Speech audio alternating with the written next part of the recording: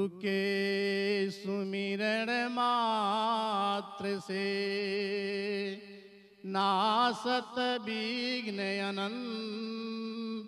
ताते आरंभ में ध्यावत हैं सब संत। गुरु को कीजे वंदना, भाव से बारंबार नाम की नौका से किया, जिसने भव से पार। सबसे पहले, सभी भगवत भक्त एक जयकारा बोलेंगे। उसके बाद श्री गुरु महाराज जी, माता जी कृपा से थोड़ा देर विचार रखेंगे। जो विचार अच्छा लगे, उसको अपनाना, जो नहीं अच्छा लगे, छोड़ देना। जयकारा में कंजूसी नहीं करेंगे, जयकारा ज़ोर से लगाएँगे। बोल सतगुरुदेव श्री हंस जी महाराज की। जगत जननी श्री माता जी की।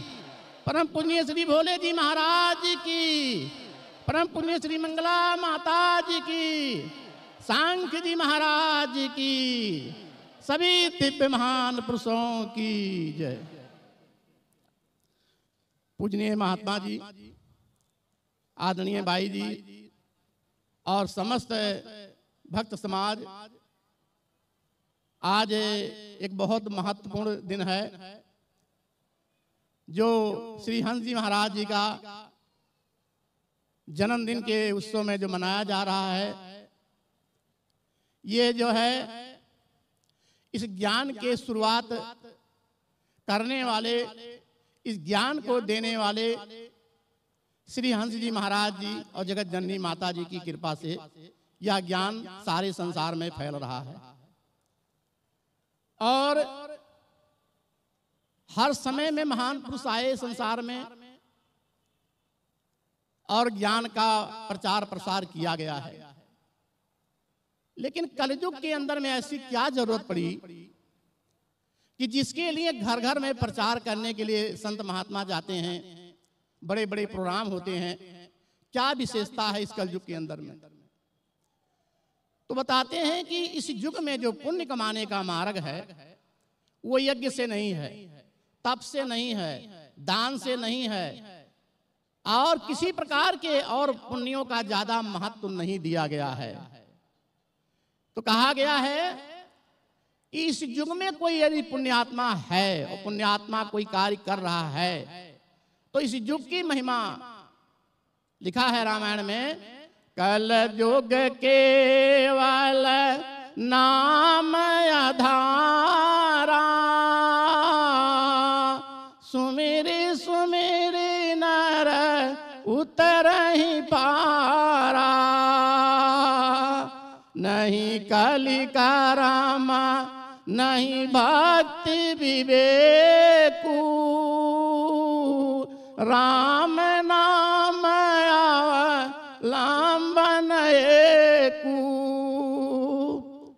प्रेमी सज्जनों इस कलयुग में उस नाम की महिमा गाई गई है। अब प्रश्न आता है, वो कौन सा नाम है जिसकी महिमा गाई गई है? और वो कैसा नाम होगा? तो कहते हैं तुलसीदास जी कि वो नाम ऐसा है कि सारे संसार का केंद्र है। उसका भजन ध्यान करने के लिए सभी संत महात्माओं ने एक मत होकर के उसी का सज्जू से, त्रेता से, द्वापर तक कलयुग में महिमा है। पर उसका ध्यान भजन और युगों में और तरीका से किया गया। पर इस कलयुग में वो महापुरुष ऐसे आए जिन्होंने उसका ध्यान सुमरन भजन सरल कर दिया। क्या कहा? कि विधि हरिहर जाको ध्यान धरत हैं। मुनिजन सहस अठासी सोई हंस तेरे घट माही, अलख पुरुष अविनाशी। कि जिसका ध्यान ब्रह्मा, विष्णु, महेश करते हैं और अठासी हज़ार ऋषि मुनि करते हैं और सारे देवी देवता करते हैं, वह ध्यान क्या है? तो उसी ध्यान के लिए ये हमारे जो गुरु महाराज जी हैं, माता जी हैं और श्री हंस महाराज माता जी ये उसी ज्ञान का प्रचार प्रसार करा रहे हैं। वो नाम जो सारे संसार में ओत प्रोत है, अब बताया गया है वो इतना नाम है महान तो उसको कैसे किया जाए? वो क्या है वो नाम?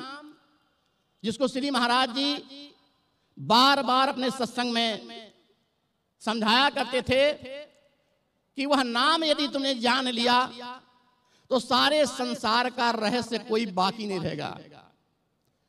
तो कहते थे, कहते हैं, अब वह नाम किसके किसके लिए सुलभ है, किसके लिए नहीं है? पर और युगों में उस नाम का, भगवान का नाम का सुमरण करने के लिए हर व्यक्ति अधिकारी नहीं था। क्योंकि बड़े बड़े उसमें नियम तियम थे, जो व्यक्ति वही कर सकता था, जिसको करने लायक होता तो वही ज्ञान को प्राप्त करता था और करता था। पर कलयुग के अंदर में ऐसी क्या बात आई? जो यह ज्ञान प्रत्येक मनुष्य के लिए सुलभ कर दिया। तो कहते हैं, वह नाम क्या है? जो सबके लिए सुलभ है। तो तुलसीदास जी लिखते हैं, सब ही सुलाभा, सब दिन, सब देसा, सेवत सादर समन कलेसा। ये भाई, वो जो नाम है परमात्मा का, वो सबके लिए सुलभ है। उसमें किसी के लिए मनाई नहीं है। सब ही सुलभ, सबके लिए सुलभ है। मानव मात्र होना चाहिए। और सब दिन, ये नहीं सोमवार दिन अच्छा है, मंगलवार खराब है। सब दिन उसको कर सकते हो। और सब देश के लोग इसको जान सकते हैं और कर सकते हैं। ये तुलसीदास जी समझा रहे हैं कि वह नाम का अधिकारी प्रत्येक मनुष्य को अधिकार है। वह उस नाम को जान सकता है और कर सकता है। अब प्रश्न आता है, वो नाम कितना महान होगा जो सबके लिए सुलभ कर दिया गया और सब कोई जप सकते हैं, जान सकते हैं उसका। तो कहते हैं कि सेवत सादर समन कलेसा यदि हमारे जीवन में कोई कलेश दुख है, जो हमारे जीवन में अनेक प्रकार की परेशानियाँ हैं, वो सारे सुखों का खान है। सब ही सुलभ, सब दिन, सब देशा सेवत, उसका सेवन करने से आपके जीवन के सारे कलेश मिट जाते हैं। अब प्रत्येक मनुष्य कहीं ना कहीं दुखी है। चाहे मन से दुखी है, चाहे तन से दुखी है, चाहे धन से दुखी है, चाहे परिवार से दुखी है है तो सबके अंदर दुख। पर ऐसी कौन से दवाई है जो सबके लिए वह दवाई फिट कर जाए। तो तुलसीदास जी यही समझाते हैं कि सबके लिए वो सुलभ है और सब उसको जप सकते हैं और वह दवाई सबके लिए फ़ायदेमंद होगी। तो इसीलिए श्री हंस जी महाराज माता जी उस नाम का प्रचार प्रसार करा रहे हैं पूरे विश्व में। और आगे क्या कहा? और युगों में भक्ति करने के लिए कहते थे भाव से जपो प्रेम से जपो। ए, ए, क्या नाम है? फूल चढ़ाओ पत्ती चढ़ाओ नहा करके करो। बड़े टिटिम बताया जाता था। लेकिन कलयुग के अंदर में क्या कहा गया भक्ति करने के लिए? यदि नाम को जान गए तो। तो तुलसीदास जी समझाते हैं, भाव कुभाव अलख आलस हूँ।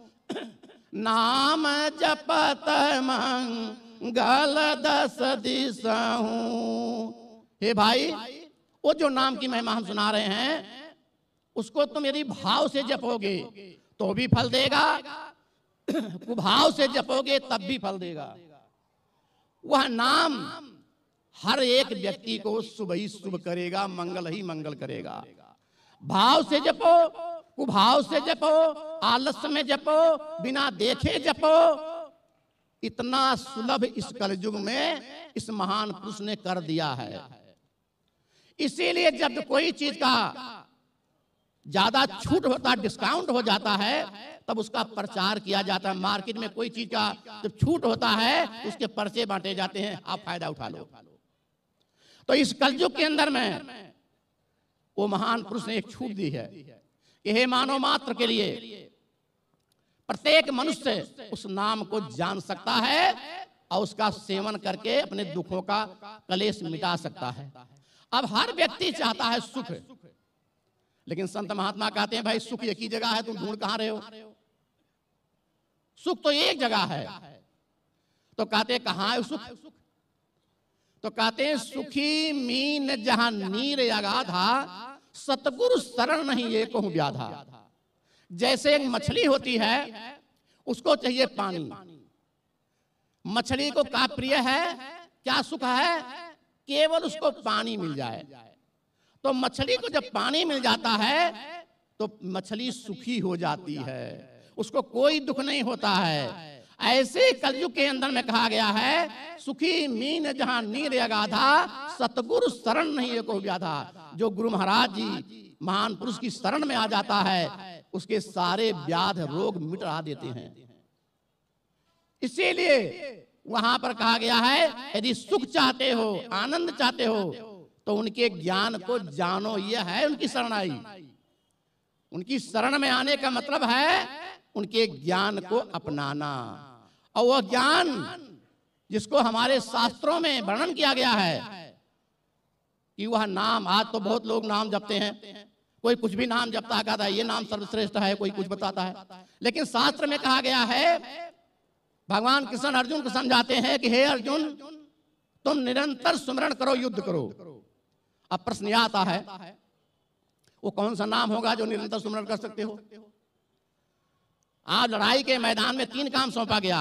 दुश्मन को मारना है, अपनी रक्षा करना है साथ साथ भजन करना है। अब मंत्र जपोगे तो नहीं कर पाओगे।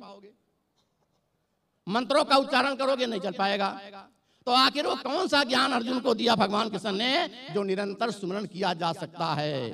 भगवान शंकर ने बताया, समझाया, माता पार्वती को कि महामंत्र जही जपत महेशु काशी मुक्त हेतु देशु। वह भगवान शंकर ने कौन सा नाम जपा? महामंत्र। महामंत्र का अर्थ क्या होता है? जिसका ना आदि हो, ना अंत हो, यहाँ पर भी निरंतर हो गया। अब वह कौन सा नाम भगवान शंकर ने जपते हैं और वह जपने की क्रिया काशी नगरी को बताते हैं? और काशी नगरी को मुक्ति का धाम बता दिया कि, हे मानो, यही नाम तुम भी जपोगे तो तुम्हारा मुक्ति हो जाएगा। तो वो कौन सा नाम भगवान शंकर ने जपा, जिसका ना आदि है, ना अंत है? और यही चीज़ गुरु नानक जी भी कहते हैं। वहाँ भी एक ही चीज़ समझा रहे हैं। एक ही सुमरो नान का जलथल रहो समाये, दूजा का है सुमरिए जो जन्मे ते मर जाए। वो कहते हैं, हे भाई, मैं उस नाम का जाप करता हूँ, जिसका वाइब्रेशन इसका कंपन, थिरकन प्रत्येक जगह हो रहा है। अब जल में, थल में। अब जल में क्या रहते हैं? मछली रहती है। छोटे छोटे कीड़े होते हैं। उनमें नाम कैसे दिखाई दे रहा गुरु नानक जी को? और जो पृथ्वी पर हैं, पशु है, पंछी है, चिड़िया है, मनुष्य है, उनमें भी वो नाम दिखाई दे रहा है। अब वो क्या नाम है? जो एक की सुमरन करने से सब जगह आपको दिखाई देगा। उसी को रामायण में कहा, सिया राम मैं सब जग जानी और करहूं प्रणाम, जो रे जुग प्राणी। तुलसीदास जी ने उसको और दूसरे तरीके से कह दिया कि मैंने सारे संसार में उस सिया राम को जाना है, माना नहीं है। आज दुनिया उसको मान रही है। भगवान को मानती है, पर जानती नहीं है। और तुलसीदास जी कहते हैं कि मैंने जाना। अब यहाँ पर एक प्रश्न आता है कि सारे जग में जाना। और भगवान राम का नाम ले रहे हैं। भगवान राम तो भारत वर्ष छोड़ के बाहर नहीं गए, खाली लंका गए थे। अब जग माने होता सारा संसार। तो सारे जग में तुलसीदास जी ने कैसे डिक्लेयर कर दिया?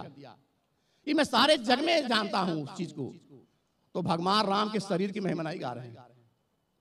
भगवान राम के उस तत्व को गा रहे हैं जो भगवान राम के अंदर है, जिससे भगवान राम भी चल रहे हैं। उनके बारे वो भी कहते हैं। इस नाम के बारे में जो श्री महाराज जी प्रचार कर रहे हैं। भगवान राम भी कहते हैं, कहूँ कहाँ लग नाम बढ़ाई, राम न सकही नाम गुण गाई। ये भगवान राम भी स्वयं कहते हैं कि मैं उस नाम की महिमा, जो नाम है, जिसको मैं जपता हूँ, उसी नाम को सूजी जपते हैं। हे भाई, मैं उसकी बड़ाई कहाँ तक करूँ? मैं भी असमर्थ हूँ। ये कौन कह रहे हैं? भगवान राम। अब लोग कह रहे राम राम जपो।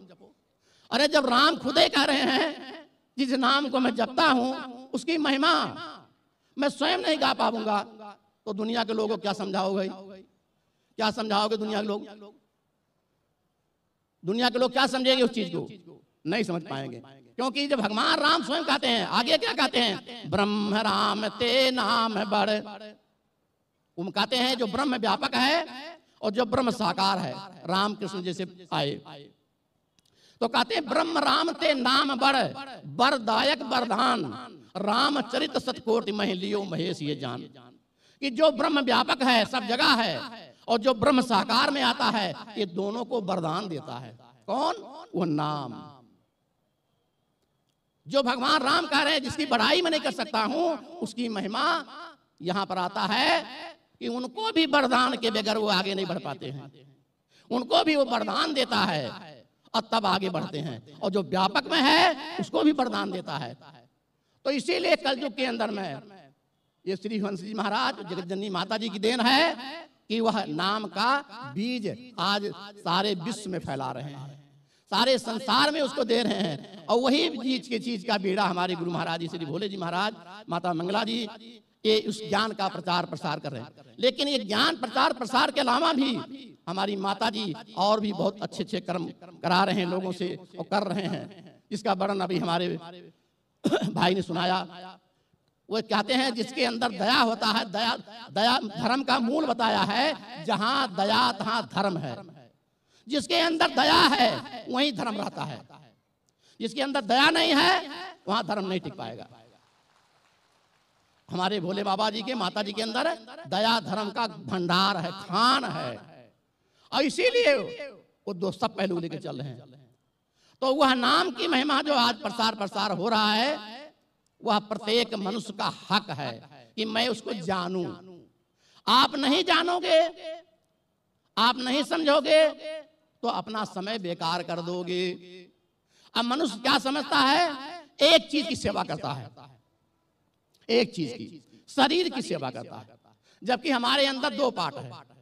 एक शरीर है, एक शरीर को चलाने वाला है। एक शरीर है, एक शरीर को चलाने वाला है।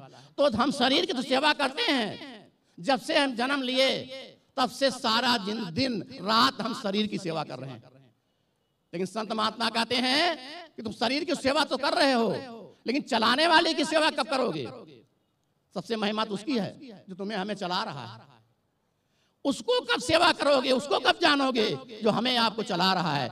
यदि आपने हमने वो नहीं जाना जो हमको चला रहा, आपको चला रहा है तो सारी ज़िंदगी लोथड़े को सेवा करते रहो, सब जवाब दे देंगे। आँख बहुत सुंदर थी, जवानी में शीशे में चार बार मुँह देखते थे, और हँसते थे, खिलखिलाते थे, लेकिन वही चेहरा जो बुढ़ापा आता है तो शीशम देखना भी पसंद नहीं करते हैं। कहाँ गया वो? बदलाव होता है। लेकिन जो हमारे अंदर में बैठा हुआ है वो बचपना में भी था जवानी में भी था और बुढ़ापे में भी रहेगा। उसमें ना बचपना है, न जवानी है, न बुढ़ापा है। वह आपका सबसे बढ़िया मित्र है। और उसी मित्र को जब अपनाओगे अपने जीवन में, तब आपका यह जीवन सुखी हो जाएगा। सुखी वही होगा जो अपने अंदर चलाने वाली शक्ति को जान जाएगा, मुझे कौन चला रहा है? और यदि उसका खुराक ये खाना पीना नहीं है ये कपड़े लते नहीं है। उसका खुराक, आत्मा का खुराक, परमात्मा का मिलन है। परमात्मा का मिलन है। इसीलिए कहा गया है, जब जीव आत्मा परमात्मा से मिल जाता है तो उसका एक दुज जन्म बोलते हैं, दुज जन्म। संत महात्मा जब ज्ञान देते हैं तो उसको समझाते हैं कि दुज जन्म तुम्हारा दूसरा जन्म हो रहा है। अब दूसरा जन्म का मतलब क्या है? क्योंकि हमने माँ के गर्भ से जन्म लिया पर मैंने अपने आप को नहीं जान पाया, मैं कौन हूँ? लेकिन जब हमें ज्ञान मिलता है, तब पता चलता है, मैं ये शरीर हूँ, पर शरीर के अंदर जो चलाने वाली शक्ति है, मैं असली रूप में वो हूँ। इस शरीर में नहीं हूँ, शरीर को, ऐसे शरीरों को आपने हज़ारों बार छोड़ दिया होगा। जैसे आपने जन्म लिया है, और जब से आप जन्म लिए हैं, कितने बार कितने कपड़े पहने होंगे? किसी ने गिना है, हाथ खड़ा करे? गिना है कभी? कितने जोड़ी पहन लिए? नहीं गिना होगा। आप वही व्यक्ति हैं। हज़ारों जोड़ी पहन पहन करके फेंकते फेंकते गए। लेकिन आप वही हैं। ऐसे हमारे संत महात्मा समझाते हैं कि वो आत्मा आपका अजर अमर अविनाशी है। वो ऐसे शरीर कितने हज़ारों लाखों करबों अरबों पहन करके छोड़ देता है। लेकिन वह एक ही जैसा रहता है। और उसी के लिए हमारे तुलसीदास जी कहते हैं कि ईश्वर अंश जीव अविनाशी। यह है मूल। आप अविनाशी हो, आपकी मृत्यु नहीं होती है, लेकिन कौन जो आपका चलाने वाला है? आप परमात्मा के पुत्र हो, पुत्री हो, पर अपने पिता को नहीं जानते हो, इसलिए दुखी हो। या खाली भौतिक माता पिता को जानते हो, लेकिन जो तुम्हारी आत्मा को जन्म देने वाला है, वह आपके माता पिता नहीं है। उसका जन्म देने वाला आपका ईश्वर है, परमात्मा है, वो देता है, जिससे हमारा बॉडी चल रही है। तो आज बहुत खुशी हो रही है। श्री महाराज जी के महिमा और है, जो गुरु महाराज जी ने इस ज्ञान प्रचार के लिए मतलब यहाँ तक परिश्रम किए कि हलवा, हल चलाने वाले को भी पीछे पीछे चल करके गुरु महाराज ने सत्संग सुना के ज्ञान दिया। इतनी बड़ी कुर्बानी आज तक दुनिया में कोई महान पुरुष ने किया है। उनको क्या ज़रूरत थी अपने पैर को दुखाने के लिए? पर किसान कहने लगा, महाराज, मेरे फुर्सत नहीं है, मेरे हल जोतना है। तो कहने लगे, महाराज जी, तेरे पास फुर्सत नहीं है, मेरे पास तो फुर्सत है। तुम हल अपना जोतता रहा और मैं तेरा साथ साथ सत्संग सुनाऊँगा। वो हल जोतता रहा। उसके साथ साथ महाराज जी चलते रहे और उसको सत्संग सुना रहे थे। लास्ट में उनके चरणों में गिर गया। कहा, धन्य हो प्रभु, ऐसा महान पुरुष तो हमने दुनिया में देखा, जो मेरे हित के लिए इतना कष्ट उठा रहा है। लास्ट में वह व्यक्ति महाराज जी के चरणों में माफ़ी माँगता है और कहता है, महाराज जी, आप बैठ जाओ, आज सत्संग होगा, करो और हम सत्संग सुनेंगे आप। फिर उसने ज्ञान लिया, तब महाराज जी को समझ पाया प्रेमी सज्जनों इस ज्ञान के प्रचार के लिए श्रीहन जी महाराज जगत जननी माता जी ने बहुत परिश्रम किया है। आज ये फुलवाड़ी जो लग रही है, ये उनका देन है और इसका विस्तार करने वाले हमारे भोले बाबा मंगला माता जी हैं। इन्हीं शब्दों साथ सबको बहुत बहुत धन्यवाद। सुनने का बहुत सदगुरुदेव श्री भोले जी महाराज की जय। हंस वंश की जय।